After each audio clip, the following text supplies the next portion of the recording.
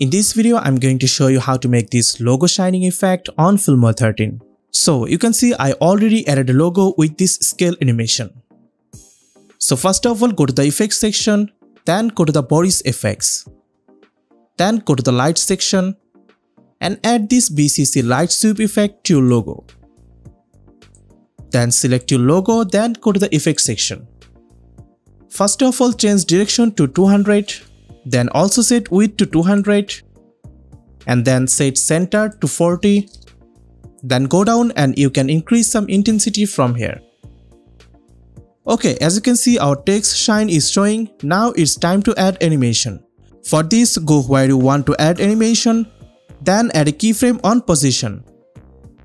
Then set position X to minus 2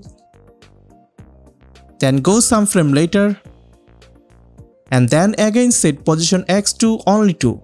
Now let's check preview. So you can see our logo shining effect is showing. If you want to change the shining color, for this select your color from here. And if you want to make this kind of animation, first of all set your logo color from here and then set ambient light to 0. And you can see our shining reveal animation is now showing. So hope you guys enjoyed this video. For more tips and trick, please subscribe to my channel.